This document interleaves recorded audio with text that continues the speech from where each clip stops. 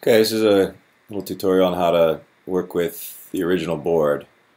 Um, so if you make a change to the board you have, you could sort of see the gray line is the original board. You can turn that off here, turn it back on. And this is now saved as a version 2.14. This is saved globally, so it's not saved on a per board basis. If you have the original board off and you open up a new board, the new board won't won't show the original board. You have to go in here and do it. So say you've made some tweaks. Maybe you can see some stuff in the slices.